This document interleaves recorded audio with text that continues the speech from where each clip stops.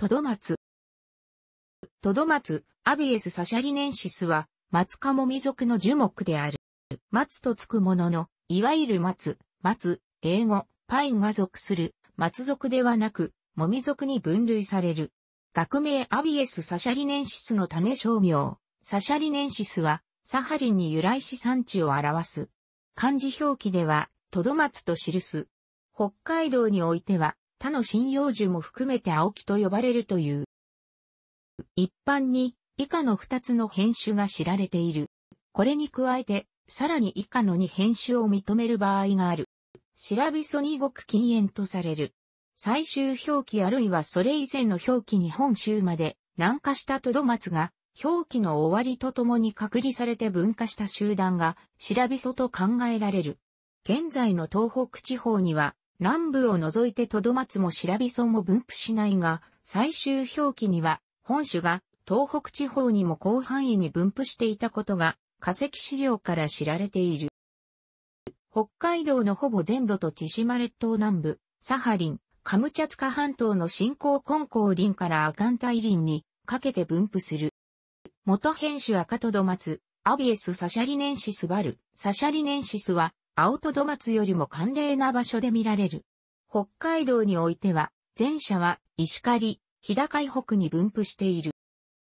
適度に水分のある肥沃な土地を好む。樹高は通常20から25メートル程度だが、大きいものでは35メートルに達する場合もある。樹形は、頭皮属のエゾマツや赤エゾマツと似る。葉は長さ15から20ミリメートル程度で、先端は2列する。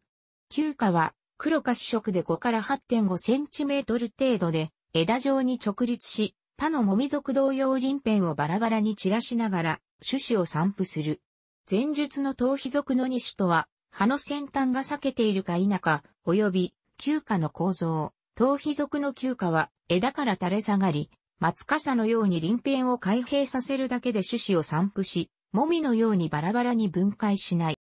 元編集、赤トドマツと変種、青トドマツのわかりやすい違いは種鱗が休暇から出る程度である。前者があまり飛び出ないのに対し、後者は長く飛び出る。ネムロトドマツ、エゾシラビソは、これが全く飛び出ておらず、休暇も小さめ、鬼肌トドマツは、樹皮がエゾマツのように裂けるという。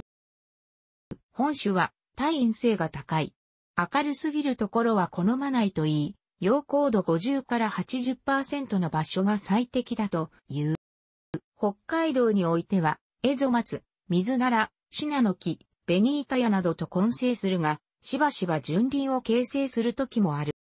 北方林における極草種の一つである。何種類もの昆虫がトドマツを餌として利用している。若い苗木にはトドマツオアブラムシが群がり、汁を吸う。付着数が甚だ多い場合は誤死する場合もある。この昆虫の拡散は早い。紅葉樹などで隔絶された区画一帯に殺虫剤ベンゼンヘキサクロリドを5月に散布したところ、同年8月には無散布の対象値と同レベルの規制状況だったという。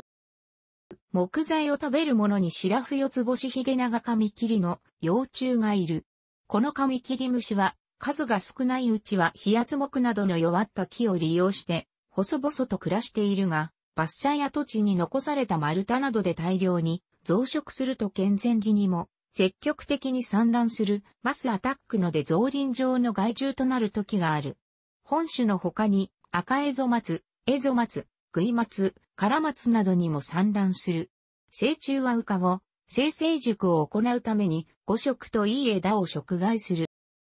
いくつかの菌と共生し、菌根を形成する。死脳菌の一種、グレマニエラアビエンチナは、トドマツ枝枯れ病と呼ばれる病気を引き起こす。春先の針葉の落葉に続き、枝が枯れる。それが数年続くと、個体の腰まで招く。この病気は、本種の特に大きな病気の一つである。病名には、トドマツとつくが、本種や本種が属する、もみ属に限らず病気を引き起こす。多反性の菌であり、欧米ではむしろ松属、頭皮属の樹木の病気として知られている。病気の英名はとされ、これは病原菌のシノニムスクローラデリスラガーバージーに由来し学名変更後も広く用いられている。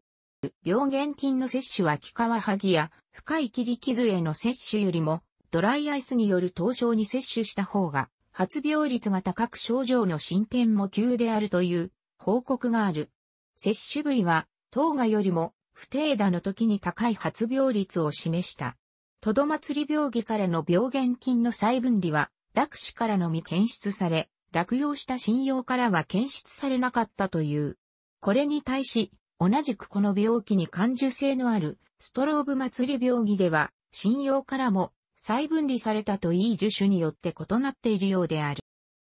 生きている木、流木を普及させてしまう菌がいくつか知られている。根株の新材普及を起こすものとして、松の根口竹などが知られている。この菌はトドマツに限らず松属、頭皮属、もみ属などの各種針葉樹を犯し、欧米では特に問題視されている菌である。本種においても感染が問題になっている。トドマツの根に松の根口竹を摂取して4年後に抜刀し、調査したところ、普及は摂取箇所より80センチメートル程度上まで進行していたという。材の部分の色は、普及前に暗灰色からに変色することから始まり、普及が進むと、高褐色から赤褐色に変わる。オレンジ色と表現されることもある。最終的には白色へと変色していくという。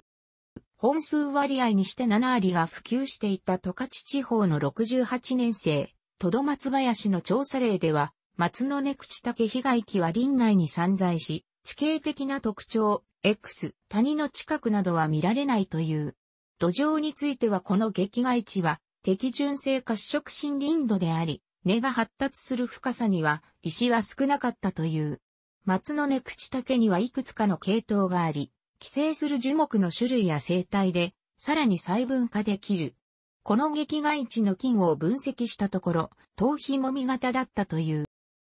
他にも、奈良竹なども普及を引き起こす。トドマツは口述のように水色位と呼ばれる木材内部の水分型状態となっていることが多く、これが冬の寒さで凍結し避けてしまう、凍裂を起こしやすい。これが普及菌侵入の門戸の一つとなる。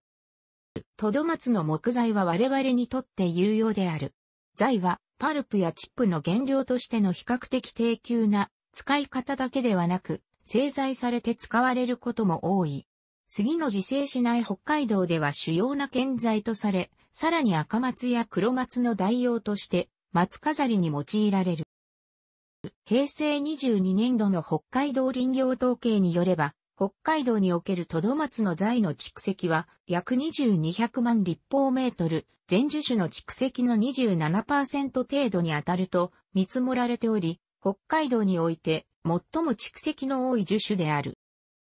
材はほぼ白色から炭鉱白。本種の新材と変材の色には違いがほとんどなく、両者を見た目で区別することは難しい。このような新材を無色新材、単色新材、もしくは熟材と呼び、もみ属や頭皮属の木材では普通に見られる。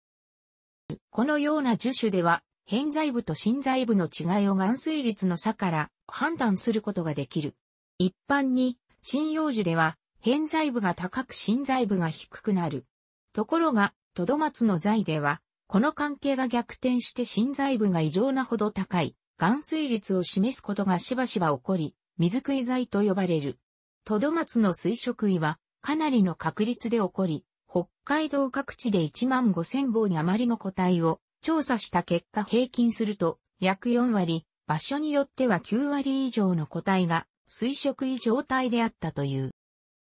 前述の通り、色では見分けがつかないと言ったが、これは、新材と変材の含水率が同じ状態での話である。水分濃度の違いは、色の濃淡に現れる。水色位のトドマツの新材部は、変材部以上に濃い色を示す。なぜ新材部が異常なほどの水を蓄え、水色位状態になるのかは、よくわかっていない。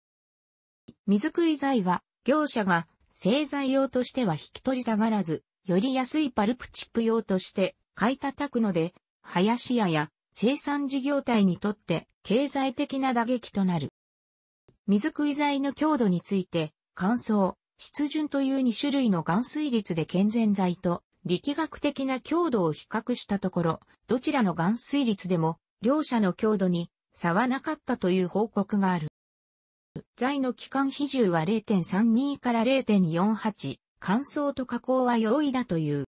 他のもみ属同様、普及に対する耐性は低く腐りやすい。しかし、水に触れるような場所で使用した場合、エゾマツ、頭皮属よりも持ちが良いという。カナダバルサムは、バルサムモミアビエスバルサムスサの樹脂を原料とするが、本種のそれは代用になるという。楽しくご覧になりましたら、購読と良いです。クリックしてください。